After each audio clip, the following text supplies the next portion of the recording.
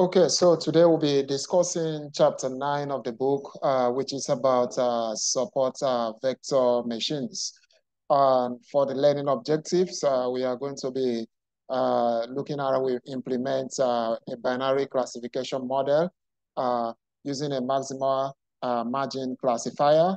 We are also going to look at the approach using support vector classifier and also support vector uh, machine. So at the end, we are going to see how we are going to generalize uh, support vector machine models to multi-class, to, multi, to handle multi, uh, multi-class uh, cases. So, so that is uh, basically uh, uh, the learning objective. So for uh, in the book, uh, they kind of like say that they support uh, vector machine is an approach for classification developed, it was developed in the 90s and support vector machine is a generalization of classifiers method in particular. And uh, we also see that uh, maximal margin classifier, that it, it requires that the classes be separable by a linear boundary. That is, we need to be able to what, split those, uh, those classes are using a, a linear boundary. Then we also see that support vector classif uh, support vector machine handle what binary classification setting with two classes. So we need to have binary classes in order for us uh, to use uh, this approach, which is just similar to what we learned previously using the logistic uh, regression. So uh, here they also introduce uh, this uh, concept of a uh, of a hyperplane. Here we have a two-dimensional hyperplane, and this in in the right they were they will use an approach where they made use of a three-dimensional uh, a three-dimensional hyperplane. So they said that the hyperplane is a p minus one dimensional flat sub surface subspace of a p-dimensional space. For example, in a two-dimensional space, a hyperplane is a flat one-dimensional space, that which is just like a line. And they, they also went further to define the 2D and the 3D space uh, using this, equa this, uh, this equation where they have beta 0 plus beta 1 x1 plus beta 2 x2 plus beta 3 x3 which must be equals uh, to zero, which must be equals to zero. And the, and the inner product, any of x, which is we have x1, x2 to the power of t, for which the equation above is satisfied, is a point on the hyperplane. I think there, there was some additional uh, resources which was uh, uh, very useful in which the, the the previous cohorts, uh, they, they paying some additional resources here about the deep uh, AI. Uh,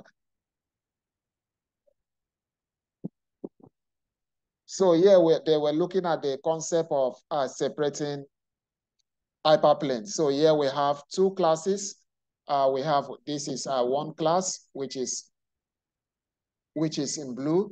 We have also have another class uh, which is in purple. So here we are having a three uh, uh, separating hyperplanes. So we have the first, we have uh, the second, we have uh, the third. So we also implement the same concept in the right, where we have a separating hyper, one separating hyperplane, which is a thick black line.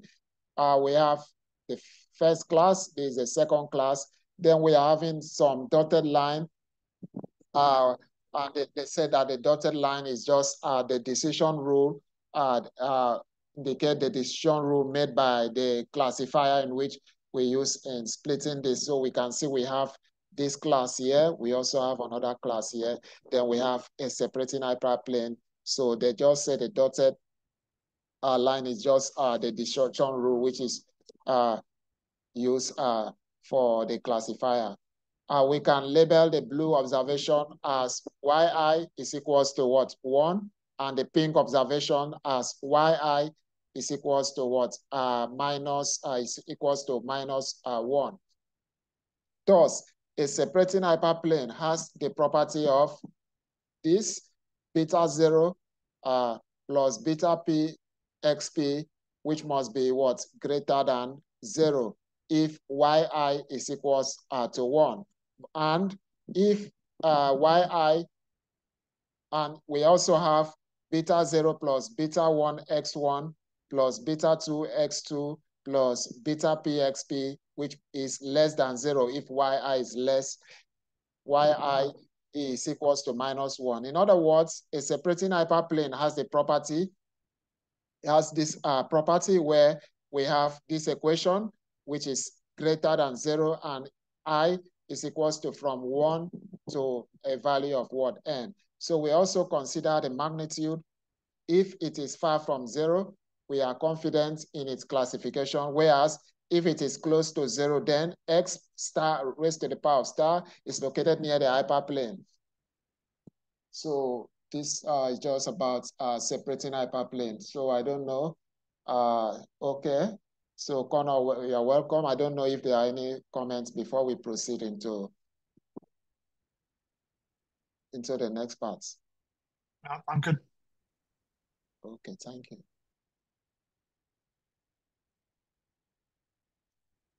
So here is just about uh, the maxima, the maximum margin uh, classifier. So this is the same. We have our, this another class, this another class. We have a thick line, which is, uh, which stands for the, uh, the separating hyperplane. So we also have, uh, uh, wait, the margin is the distance from the solid line. So I think the distance from this solid line to this dotted line is the what they call the margin. Uh, then the, the support vector is just this thick blue, these blue circles, and these uh, purple circles, they said that that is a support vector. Then the dotted, the this dotted line, I think is going to be uh, the decision rule from uh, this classifier, just as we see uh, in the previous uh, slide. This. So they said generally if the data can be perfectly separated using a hyperplane in an infinite amount of such hyperplanes exist. An intuitive choice is the maxima margin hyperplane, which is the hyperplane that is farthest from the training data. So we mm-hmm. compute the perpendicular distance from each training observation to the hyperplane. The smallest of these distances is known as the margin. So the maxima margin hyperplane is the hyperplane for which the margin is maximized. We can classify a test observation based on which side of the maxima margin hyperplane it lies on. And this is known as the, as the maxima margin classifier. So the maxima margin classifier, which is x based on the sign f of x is equals uh, to this equation, which is also uh, given uh, using this uh, figure, okay, which is similar to what we have uh, here.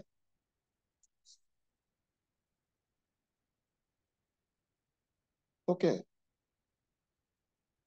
So the mathematics uh, here, they just talk about uh, the mathematics of the maximum margin classifier. So cons we consider constructing an MMC based on the training observation of X1 to xn.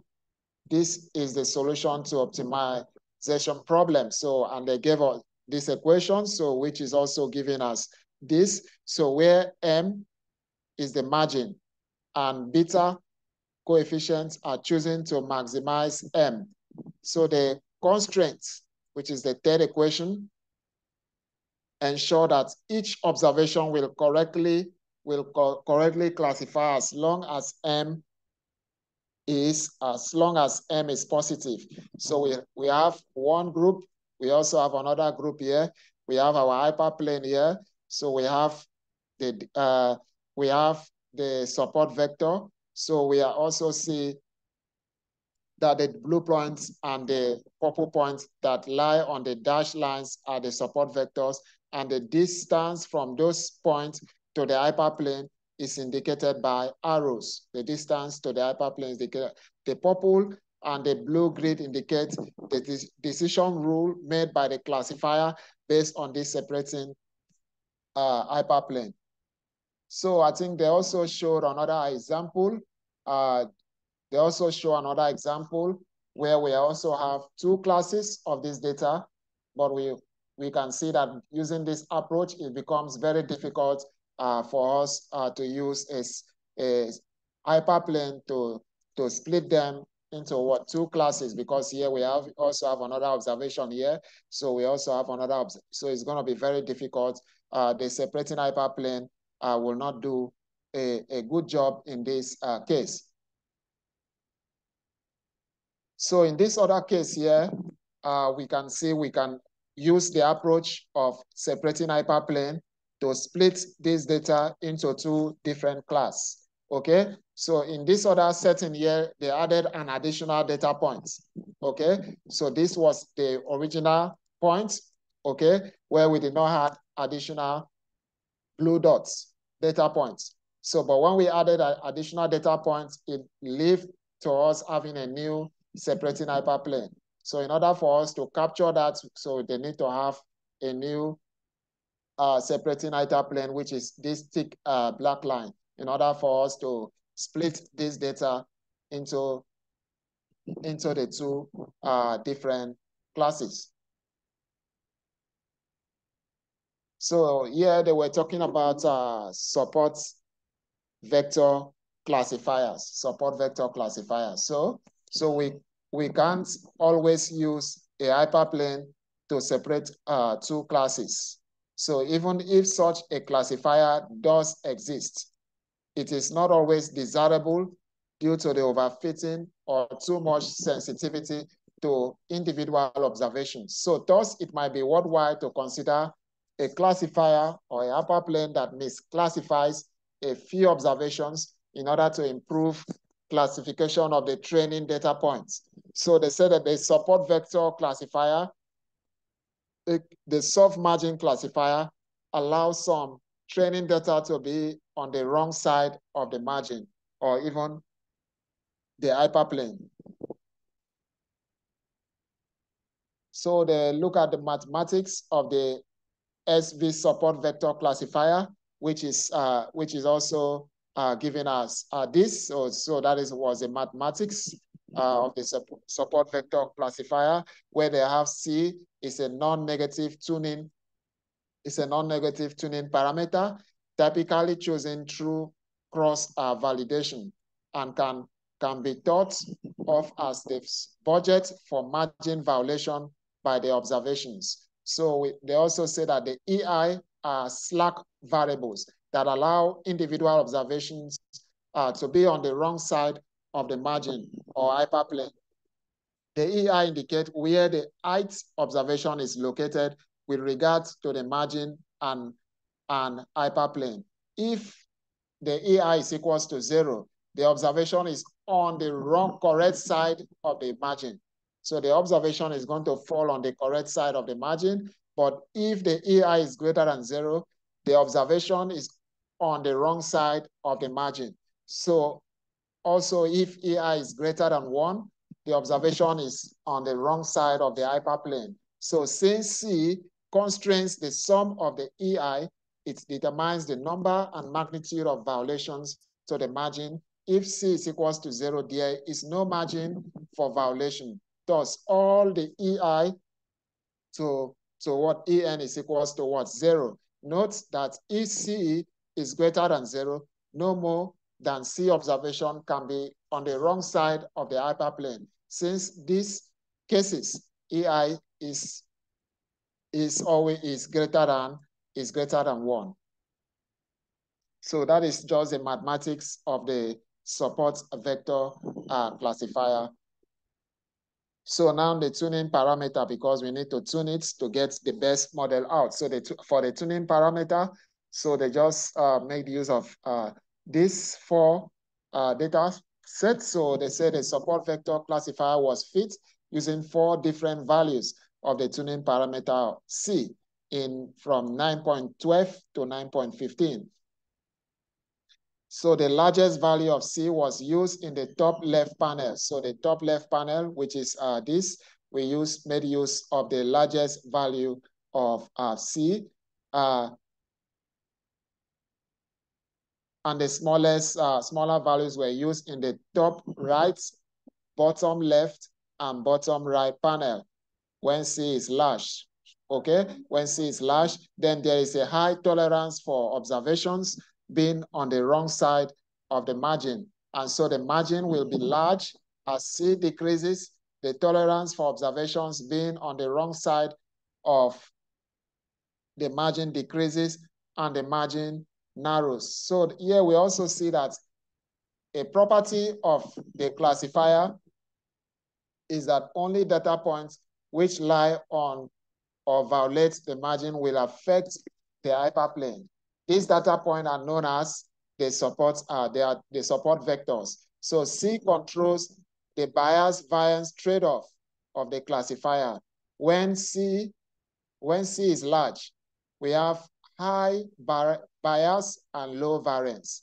But when C is small, we have low bias and high variance. So the, the property of the support vector classifier solely being dependent on certain observation in classification differs from other classification methods, such as the linear discriminant uh, analysis, which depends on mean of all observation in each class, as well as each class covariance matrix using all observations. So however, they also say how logistic regression is more similar to the support vector classifier in that it has low sensitivity to observations far from the decision uh, boundary. So we can we have seen that the logistic regression is more close similar to the SVC approach. So this is just a nonlinear classification. So they were giving us the the mathematic, mathematics uh, behind uh, the nonlinear classification. Here we see that many decision boundary are not uh, linear. So we could fit an SVC to the data using two P features. In the case of P features, I'm using a quadratic form. So given by uh, this equation. So, so we should, they also mentioned that we should note that in the enlarged feature space, here with the quadratic terms, the decision boundary is linear, but in the original feature space, it is quadratic in this example, and generally the solution are not linear. So once one could also include interaction terms, higher degree polynomials, and thus the feature space would enlarge quickly and entail unmanageable uh, computations. So yeah, we, they were talking about uh, support uh, vector machines. So that they say that the SVM is an extension of the SVC, the support vector classifier, which results from using kernels to enlarge the feature space. So they say that a kernel is a function that quantifies the similarity of two data points. So the kernel uh, quantifies the similarities uh, of the two data points. Essentially, we want to enlarge the feature space to make use of nonlinear decision boundary. So while avoiding getting bogged down in unmanageable calculations, the solution to the SVC problem in the SVM context involve only the inner product of the observations. So here we have uh, we have the, the equation for the support vector machine in context SVM. The linear support vector classifier is as follows, which goes as these equations. So to estimate n alpha of i coefficients and beta zero, we we only need uh, inner product between between all pairs of training observations. So we should, they also say we should note that in the equation above, in order to compute f of x for new points x, we need the inner product between the new points and all the training observation. However, alpha i is equals to zero for all points that are not on the uh, on or within the margin. That is points that are not support vectors. So we can rewrite the equation as follows, where S is a set of support point indices which is giving us uh, this equation. So we replace every inner product where k is a kernel function. So, so the SVC uh, is known as a linear kernel since it is linear in the features. So one, we could also have a kernel functions of the following form, which is uh, which is giving us uh, us this uh, this equation. So this will lead to a much more flexible decision boundary, and it's basically fitting an SVC in a higher dimensional space involving polynomials of degree D instead of the original feature space. So when an SVC is combined with a nonlinear kernel as above, the result is a support vector uh, machine, which is uh, given us, uh, which is giving us f of x is equals to beta uh, zero plus summation of alpha i k into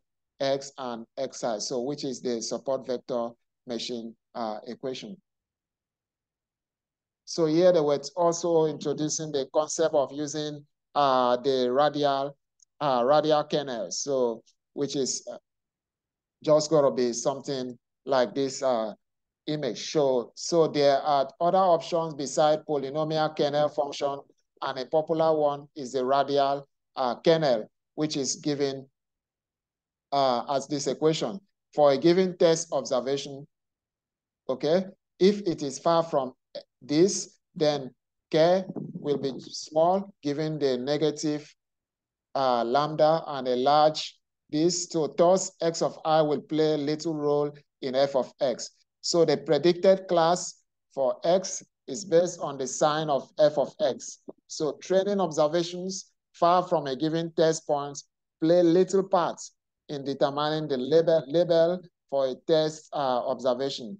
So the radial kernel therefore exhibit local behavior with respect to other uh, to other observations uh, in which we have in the data. So we have the support vector machine with the radial kernel. So we we are trying to see how we are going to compare. So this one is support vector machine using uh, the polynomial kernel. So this one is also using the radial the radial kernel. So here we can see that SVM polynomial kernel of degree 3 is applied to the nonlinear data from figure 9.8, which is shown uh, resulting in a far more appropriate decision rule.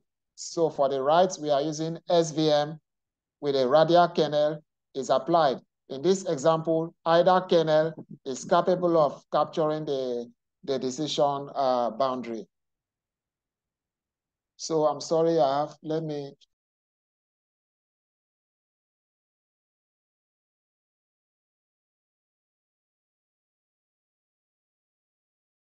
So sorry for that. Uh, so the advantage of using a kernel rather than simply enlarging feature space is computational since it is only necessary to capture kernel functions. So for radial kernels, the feature space is implicit and infinite dimensional. So we could not do the computations in such a space anyways. So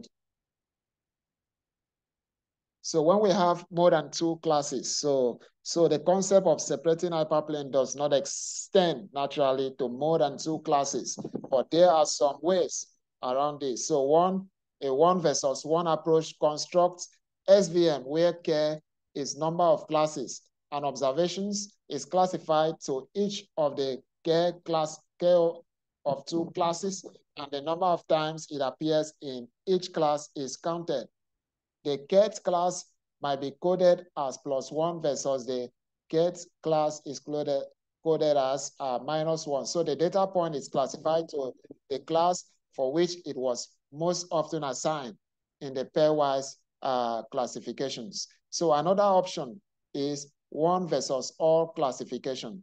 This can be useful when there are a lot of classes. So in this case, we have care of SVM are fitted and one of care classes to the remaining care minus one classes. So we have we have uh, beta zero of care to beta P of care denotes the parameters that result from constructing an SVM comparing the get class coded as plus one to the other class of uh, minus one. So we then assign test observation to the class of care for which uh, this is uh, the largest, that is beta zero plus to beta p of get or x of p is, the, uh, is giving us uh, the largest uh, value. So this was just the lab for support vector where they were trying to use uh, the tidy models approach. So here we have, uh, we just set a random seed. Then we have a simulated data, which is a matrix, R norm. So we have, we create 20 random number. We just multiply it by two. So we have number of columns. So we have within two column. So the dimension names, which is a list, we have null, we have x1 and x2, and then we convert everything to be a tables, and then we mutate where we repeat minus 1 10 times, we also repeat 1 10 times. So, and then we mutate x1 if else y is equals to 1, it should be x1 plus 1. Otherwise, it should be x uh, 1. So we also have x2 if else y is equals to 1, it should be x2 plus 1. Otherwise, it should be x2. So we also have, we now use this simulated data uh, to create our uh, visualization to create to check for the hyperplane. So here we can see that uh, we have our x1, we also have our x2, where we have our y, which is where we have minus one, we also have it as one. So we just visualize to have this using ggplot. So here they have they loaded the test data. So they, from the test data, they're also trying to make the hyperplane. Okay. So uh, we also have uh, we also have this, so which shows that we have two classes.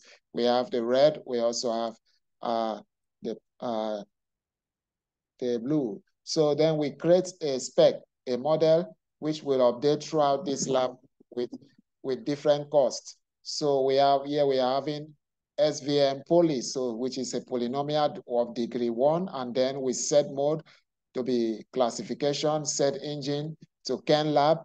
We then we set the scale to false. Then we then do a couple of a couple with most uh, with manual costs. So we have SVM linear spec, and then they set the argument to where the cost is equals to uh, to 10, and then they fit the model. So we have the SVM linear fit 10 to begin, which is a parsnip model object, support vector machine object of class KSVM. Uh, we have the cost, which is equals to, uh, to 10. Then, then we have the polynomial uh, kernel function. We have hyperparameter degree is one, scale is also one, and offset is one, and the number of support vectors is equals to what, seven. So here we just extract the fitted model from the engine. So and then we then do we then do our plots, which is going to result uh, in this output. So here we have the scale. So here we are going from minus uh, one to down to mi from minus three to minus one, we have zero. So all here we have positive. So we can see. So here we have the we have they have the SVM spec, and then they set the argument where the cost, they just re, they reduce the cost to 0.1, and then they fit the model. So when the cost is 0.1, they had this model. So here we can see that when the cost, when we reduce the cost, uh, we can see that the number of support vector increased to from to 16. So the object function value is now this, then the training error is now 0 0.05, and the probability model is also included. So when we draw the plots uh, from these fits, so we are going to have uh, this as the as the final output. So we also have the SVM linear spec, and then we set the argument where the cost is now 0 uh, 0.01. Then we fit uh, the model So when we fit the model, we can see that uh, the more we reduce the cost, we can see that the more number of, uh, the, the more the support vector keep on increasing. So now we are now having from 16, we have now at the support vector is now 20. So when we now extract the fitted engine from that uh, model, and then we now do our plot. So we are going to have this as our final output. So now the tuning parameter. So let's uh, find the best cost. So for, for us to do that, we need to we need to set our workflow and then we had our model, which is the SVM linear spec, and then we set our argument where the cost. So here we are using hyperparameter tuning. So we do not set any default value. We want uh, to tune it to get the best cost. So and then we are adding the formula. Then we here we set the seed. Then this is for the simulated data fold. Here we are using cross validation. Here we say the simulated data where the strata is equals to y. Then grid uh, grid regular where we call the cost, then the levels is equals to what 10. So which is this is the 10 values for we move from 0 0.00977, then we move uh, down to what 32. So here we are using the tune grid function. We pass in the sub SVM linear uh, workflow. Then we, we samples, there we say should be sim simulated data fold. Then the grid is called to what? Param, param grid. So here we are now using the auto auto plot uh, function on the tune rest. So tune can pull out the best result for us. So here we use the select best from the tune rest. Then the metrics should be accuracy. So, so we also have the uh, we also have the SVM linear final. So we have to finalize the workflow. So we have the SVM linear fit, SVM linear final, and then we fit on the simulated uh, data. So, so we now have SVM linear fits, and then we have to augment new data. We pass in the test data and then confusion matrix where the truth is equals to Y and the estimate is predicted class. So when we do this, we can now see the uh, confusion matrix where we have the truth and also the prediction. Here we have minus one and one. Here we have minus one and one. So in this case, we have nine uh, as against uh, one. Here we are making the truth with two, while uh, the actual was, uh, we also have two and also eight. So for the accuracy, so to, for us to know how accurate is our prediction, so we are having nine, which is nine plus plus uh plus eight all over all over nine plus uh one plus 2 plus 8. So when we add this value divided by this, so we have a value of 0 0.85. So we have 85% accurate. So we have to see that SVM fits, and then we augment new data, we pass in the test data, then confusion matrix. So here we have the predicted class. So this is uh, this is the output. So when we now check uh, the the accuracy. So here we are seeing that we are 70% uh, accurate. So here they were looking at the linearly separable data. So here we have simulated data, and then we are creating a new column, which is X1 and X2, where X1 is gonna be if else, where Y is equals to one, should be X1 plus 0.5.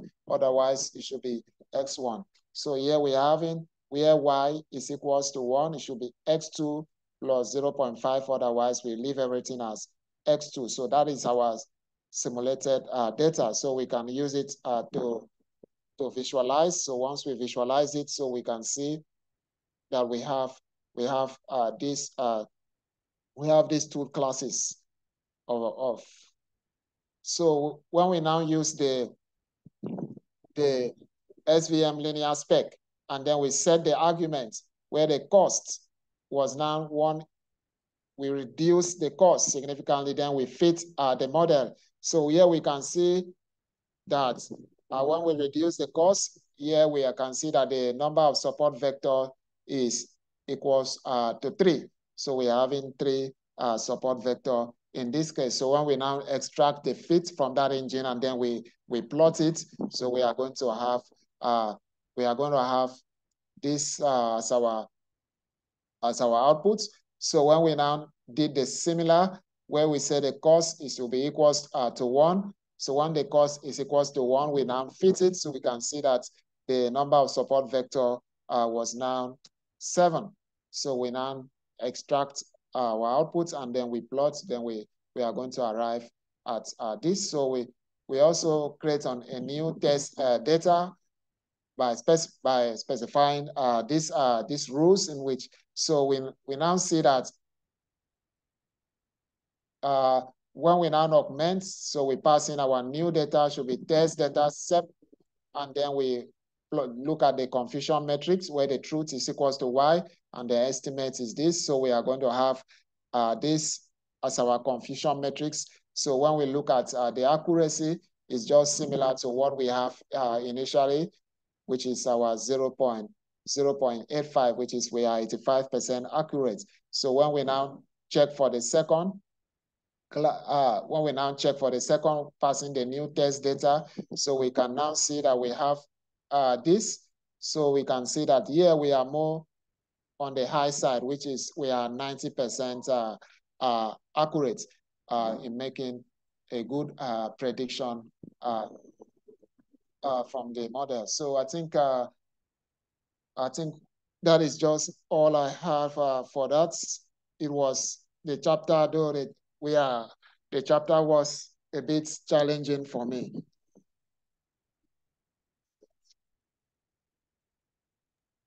Yeah, I've never used one of these in real life, so I'll have to find some more